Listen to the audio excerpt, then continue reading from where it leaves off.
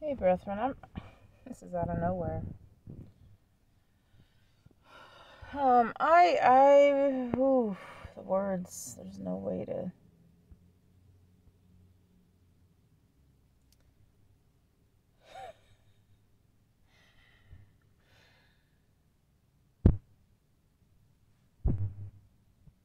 I'm gonna put this on my other chan on my other platform before I uh, finish getting off of YouTube.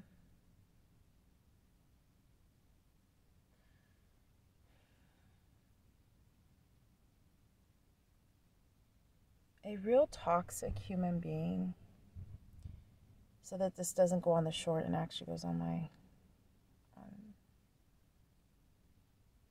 the, the uh, platform. I'm exhausted, you guys. I'm sorry. I've had.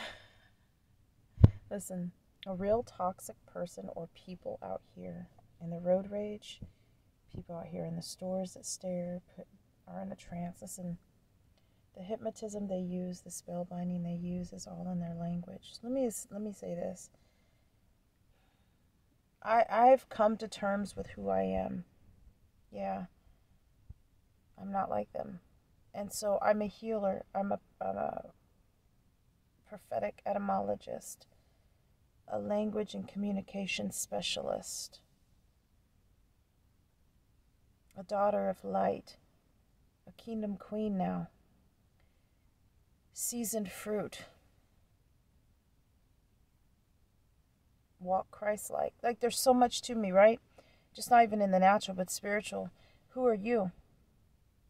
we we actually have to start walking and talking as to who we are not just our purpose but who we are that real light. I have to say this though.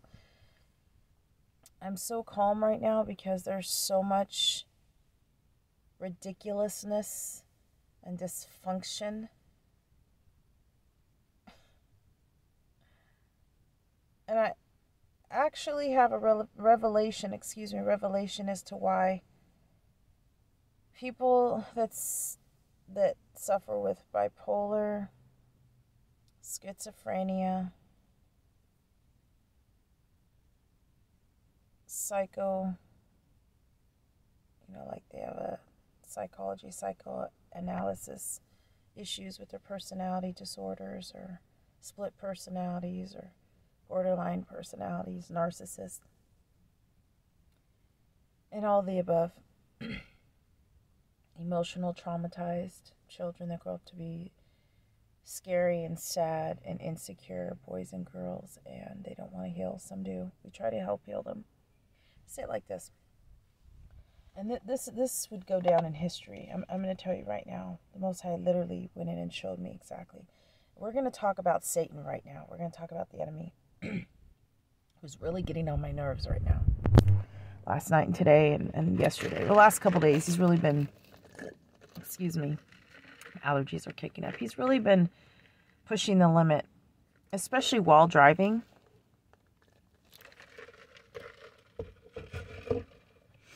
See, so I'm gathering myself together again, physically and everything. This is such a mental battle. It's it's a mental battle. It's war with the mind, mind to get the mind, mind against the mind, dark against the light, good against evil or evil against good because they're against us. We, we're if we're of purity, we, we're really in holiness. We're not really trying to go after any sin, right? But many people don't think before they they speak. They just don't think before they speak and who they're speaking to and how they whether they should honor them or whether they should be respectful or whatever that is. But this the case in point. So Satan, let me explain. When he was Lucifer in heaven, with all the pride and ego before falling. He wanted to take all the angels with him that would follow him. This is uh, the, the beginning of what narcissism is. You have to start with someone. There has to be someone, which is the same as the Antichrist you have to take someone who is insecure or has some rejection issues, has some abandonment issues, has some um, attachment issues, they can be healed. My grandbaby's going through some things. My my my daughter is going through some things because of people getting their business just like they did with me when my children were young. Case in point, so there has to be a negative leader full of mind control, loss of light, hates clarity, hates purity, hates holiness, hates truth, hates righteousness, hates love, hates security, hates those that don't have self doubt, who can rise above all things, hates royalty, and then brings the others with him that is traumatized. That's just how it started. That's how it started. The fallen angels, which becomes a fallen man, the sons of disobedience. Let me tell you, that's that's what it is. And that's what he does. He works in these people. See, the chaos within is that there is darkness in everyone from sin. We inherited it. It's the pushing it out and allowing the light to come in of Christ while he walks up the stepfuls, step footsteps, excuse me, into the door of righteousness, the crossing over from Hamashiach to Christ of light. And that's the reason why you can see it in someone's eyes what demons they have, spirits they have, or if they have light of Christ. I can look at someone's eyes and tell exactly what's going on. If it's a reptilian, if it's a human being, or if it's a split personality, I could I could see it all.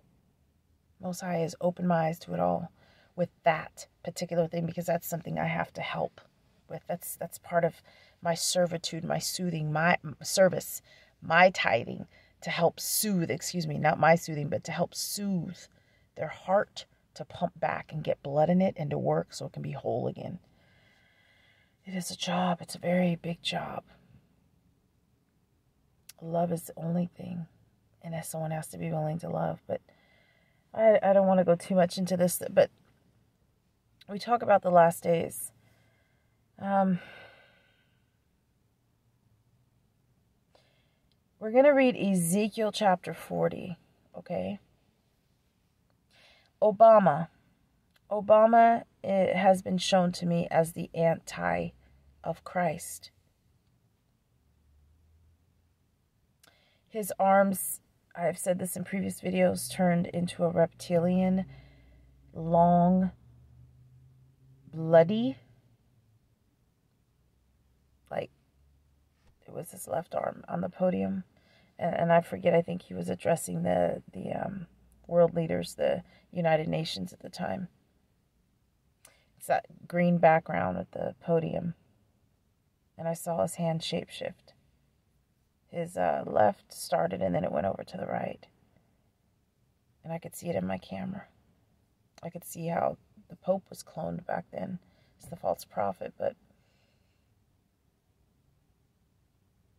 I saw, I could see Satan in him. And the thing is,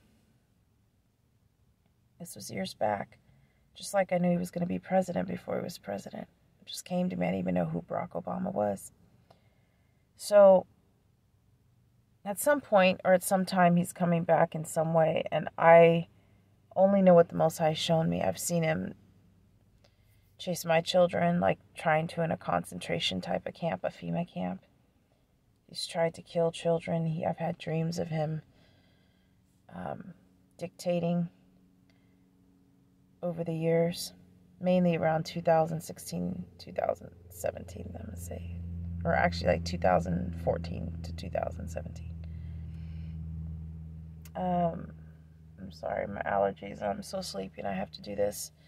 This wasn't the way this video was gonna go, but then I'm gonna just say this now. You guys are seeing me so in the natural right now. I there's no editing. This is this is me. This is how I'm feeling as a human very um, happy but tormented at the same time. And it's just back to back. And human beings that also are testing my patience. So, um, the love of Yahusha, oh, hallelujah. wasn't for praise worship while driving. Um, So we're going to go into Ezekiel 40. And I'm going to hold off on any other type of judgments or prophecies. I may start actually doing that to help individuals in their life. Most High is showing me I may be testifying into that. That might be something I'm I'm going to go towards, just like helping them with their lifestyle, with health and everything. I also took cod oil, so it's making me a little sleepy. Um, so I'm gonna do that in this next video, and then it'll be goodbye. But that, but what I want to just break that down into these various parts. But as far as the the um, narcissistic tendencies and and all of the just toxicity period, the Most High revealed to me. Um, so it would have been um, Hebrews eight eleven and Hebrews H eight twenty two one one scripture is speaking of if they didn't fall. See, if they didn't fall, if they didn't fall, that's why the fallen angels are here. So you have to understand the demonic world and how transparent that is into a person being a human being, the fall of sin. Goes hand in hand, line in line. There's a way that the, the devil comes in to, to snatch the soul. The enemy comes in to snatch the soul because it's empty with anguish and bitterness and sadness, not getting past the past. It's one thing to just remember it, be triggered a little bit. It's another thing to just stay in the past. And those that stay in the past have a spirit of rejection anyway, spirit of apathy. And um, they just cannot get past it. And that's when the, the enemy comes in. Yeah. So the other part is um, if we didn't labor for the Most High, if we didn't labor our servitude, our tithing, our um, doing our service to help others heal that are toxic or whatever we're doing as our purpose, if we didn't do that, we wouldn't enter His rest. They didn't want to enter the rest. So therefore, they traumatize and they um, torment us because they're already in hell agony as far as their soul. We're trying to pull them out of that before it's too late. So that's kind of how that goes. Um, and the other speaks of um, laying down, I think it's laying down, not laying down your sword, but I'll have to look that one up again in here. Um, let's see.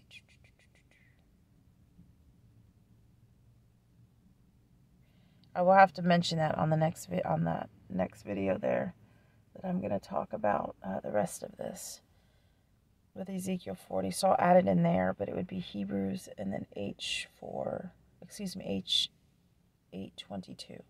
But I have a kind of like a brain cloud for a second on that uh, because I don't want to mix those up. But the fall of the fall of the angels, and then our rest and their disobedience. Okay, so their disobedience, if I can remember here, We teach this so we don't go through that disobedience. It's it's interesting that this war such a spiritual battle. War of the mind.